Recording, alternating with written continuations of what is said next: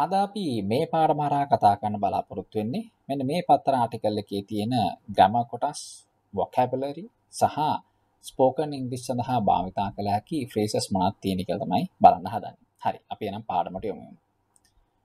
An inspiration to other women.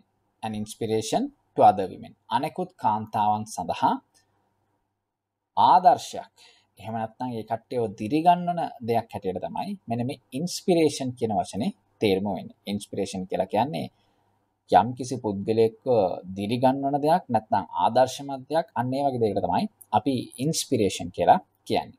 I have been impressed. impressed කියන්නේ මොකද්ද?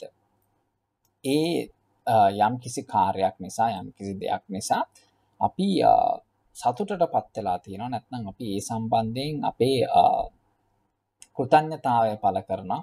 අපි ඒ ගැන විශේෂ සතුටක් විශේෂ සතුටක් ඒ සම්බන්ධයෙන් අපිට තියෙනවා. අන්න ඒ වගේ දෙයකට අපිට කියන්න පුළුවන් I have been impressed කියලා. impressed. I have been impressed by the statements. statements කියලා කියන්නේ ප්‍රකාශ. I have been impressed by the statements an example said by the Minister of State for Health Dr. Fernand ha Dr. Sudarshini Fernando Pulle. හරි. රාජ්‍ය ඇමති මිනිස්ට of state කියලා කියන්නේ රාජ්‍ය ඇමති for health සෞඛ්‍ය සඳහා රාජ්‍ය ඇමති ඩොක්ටර් සුදර්ශනී ෆර්නාන්ඩ පුල්ලේ ඩොක්ටර් සුදර්ශනී ෆර්නාන්ඩ පුල්ලේ මහත්මිය විසින්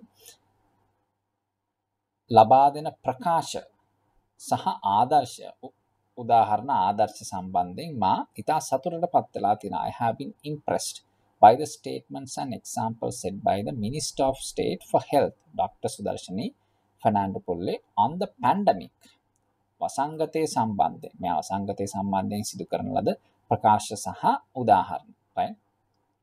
and by cancelling her son's wedding reception. හරි. cancelling කියලා කියන්නේ අවලංගු කරනවා අහෝසි කරනවා නැත්තම් නවත්තනවා කියන එක.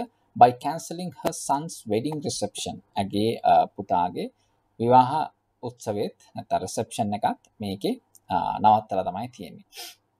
ඒ සම්බන්ධයෙන් තමයි මේ පළවෙනි වාක්‍ය හරහා කතා කරලා තියෙන්නේ. හරි.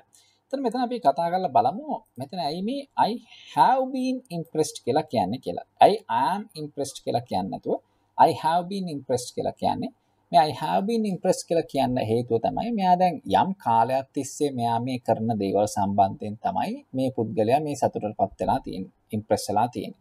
එතකොට කාලයක් තිස්සේ සිදුවන දෙයක් නම් ඒ සඳහා අපි am කියන එක භාවිතා කරන්න බෑ. අපි භාවිතා කරන්න ඕනි present perfect continuous tense එක තමයි භාවිතා කරන්න ඕනි. එහෙනම් අපි කියන්න I have been impressed කියලා තමයි කියන්න ඕනි. එතන මෙතන ඇත්තටම impressed කියන වචනේ අපි ඇත්තටම භාවිතා කරන්නේ adjective එකක් වශයෙන්. එතකොට I have එක විතරක් දාන්න බෑ. been එක දාන්න වෙනවා. I have been impressed by the statements and examples set by the Minister of State for Health, Dr. Sudarshini Fernandopulle, on the pandemic and by cancelling her son's wedding reception. Hi. Many others, including me. Hi. Many others කියන්නේ අනිත හුඟක් දෙනෙක් including me මාත් සමග right මමත් ඒකට ඇතුළත් වෙනවා including me think අපි හිතනවා she would have been a good choice for health minister she would have been අය She would have been a good choice for health minister. සෞඛ්‍ය අමාත්‍යවරයා සඳහා අය හොඳ තේරීමක් වෙලා ඇති කියලා අපි හිතනවා. දැන් බලන්න she would have been. මේක spoken english සඳහාත් ඔය කටට භාවිතා කරන්න පුළුවන්. she would have been කියලා කියන්නේ අය හොඳ තේරීමක් වෙලා ඇති. අය අයව තීරුවේ නැහැ. නමුත් අයව තීරුවා නම් අය හොඳ තේරීමක් වෙලා ඇති. අන්න ඒ සඳහා තමයි මේ would have been කියන එක භාවිතා කරන්නේ. she would have been a good choice for health minister. through her experience in medicine සෞඛ්‍යංශය ඇයට තියෙන අත්දැකීම් තුළින් she is aware she is aware කියලා කියන්නේ ඇය දැනුවත් වෙලා තිබෙනවා ඇය ගැන දන්නවා කියන එක she is aware of every aspect of this pandemic every aspect කියලා කියන්නේ සෑම අංශයක්ම every aspect of this pandemic මේ වසංගතයේ සෑම අංශයක් ගැනම ඇය දන්නවා and the danger of infection Infection කියලා කියන්නේ මේ රෝගේ වැළඳීම මේ රෝගේ වැළඳීමේ භයානකත්වය ගැන ඇය දන්නවා the danger of infection she has shown that she knows what she is talking about. අය පෙන්නලා තියෙනවා අය දන්නවා ඇය මොනා ගැනද කතා කරන්න කියලා. ඇය කතා කරන සබ්ජෙක්ට් එක ගැන ඇයට හොඳ දැනුමක් තියෙනවා කියලා ඇය පෙන්නලා තියෙන එක තමයි මෙතන මේ කියන්නේ. She has shown that she knows what she is talking about and that she cannot be influenced or flattered. හරි. she cannot be influenced කියන්නේ ඇයට බලපෑම් කිරීමේ හැකියාවක් නැහැ. she cannot be influenced or flattered. flattered කියලා කියන්නේ යම්කිසි පුද්ගලයෙක් සම්බන්ධයෙන් අපි හොඳ දේවල් කියලා ඒ පුද්ගලයාගෙන් යම් යම් දේවල් කරගන්න ඒ වගේ දේවල් අපි කියනවා ඒ ඒ දේ සඳහා අපි භාවිත කරන වචන තමයි flattered කියන වචනේ influenced or flattered by a selected coterie of sycophantic admirers by a selected coterie coterie කියලා කියන්නේ මතක තියාගන්න යම්කිසි එකම අදහසක් තියෙන පිරිසක් නැත්තම් කණ්ඩායමකට තමයි අපි කියන්නේ කොටරි කියලා. එකම අදහසක් තියෙන කණ්ඩායමකට අපි කියනවා කොටරි කියලා. කොටරි of sycophantic admirers. sycophantic කියලා කියන්නේ මොකද්ද? sycophantic කියලා කියන්නේ තවත් පුද්ගලයෙක්ගේ අදහස් වලට ක්‍රියාවන් වලට කිසිම විවේචනයක් නොකර ඒ සඳහා උදව් කරන අය ඒ ඒ දේ පිළිගන්න අය ඒ වගේ අයට තමයි අපි කියන්නේ sycophantic කියලා. sycophantic admirers කියලා කියන්නේ ගරු කරන අය. admirers කියලා කියන්නේ ගරු කරන අය. එතකොට මේ වගේ අය හරහා ඇයව ඇයට බලපෑම් කිරීම හෝ නැත්නම් ඇය ගැන බොරුවට හොඳ දේවල් කියලා වර්ණනා කිරීමක් හෝ ඒ දේවල් වලින් ඇගෙන් ප්‍රයෝජනයක් ගන්න බෑ. ඒ වගේ දේවල් හරහා ඇයට බලපෑම් කිරීමේ හැකියාවක් නැහැ කියලා තමයි මෙතනින් මේ කියන්නේ. It's up to those in public life to set an example. හරි. Uh, in public life කියලා කියන්නේ මහජනයා එක්ක ජීවත් වෙන කියන මහජනයා එක්ක මහජන නියෝජිතයින් වශයෙන් සිටින. හරි. ඒ මහජනයා අතර ප්‍රසිද්ධියේ සිටින ඒ වගේ අයට තමයි අපි කියන්නේ those who are in public life කියන එක. ඒතර who are කියන කැලල නැතුව තමයි those in public life කියලා ඉඳලා තියෙන්නේ. එහෙම ලියන්න පුළුවන්. It's up to those in public life to set an example.